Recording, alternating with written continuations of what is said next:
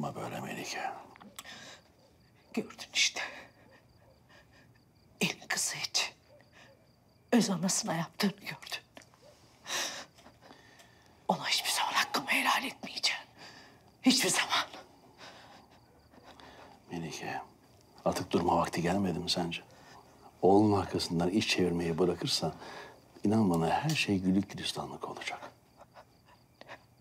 Neden önemsiyor o kız bu kadar? Neden?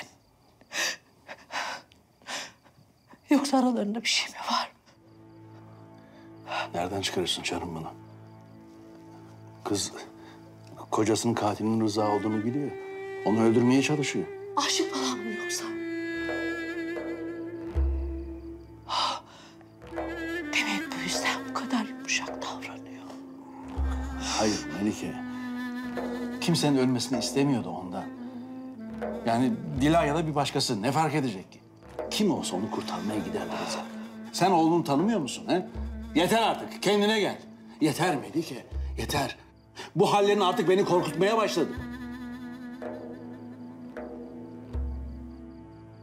Anlaşıldı. Sen de onlarla aynı kafadasın demek. Yapma böyle Melike. Çık dışarı! Çık dışarı dedim sana. Ne işin var benim odamda? Ha? Bu evdeki yerini unutma.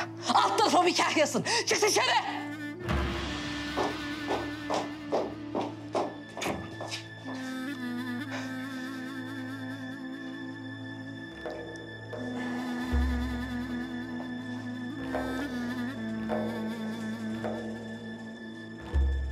Öyle olsun.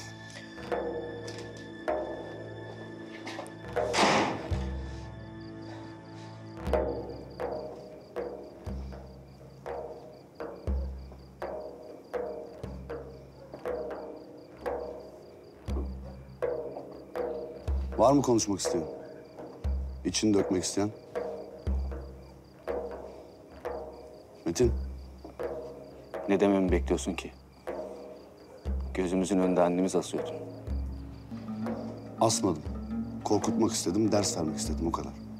Tamam. Annemin çok kötü bir şey yaptığı ortada. Ama bu kadarını hak etti mi gerçekten? Metin, bir insanı öldürmeye kalktı oğlum, asmaya kalktı. Var mı bundan ötesi? Var mı lan?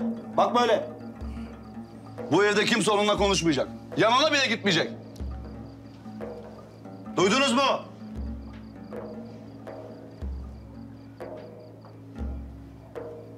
Yoksa bizi de mi asmaya kalkarsın?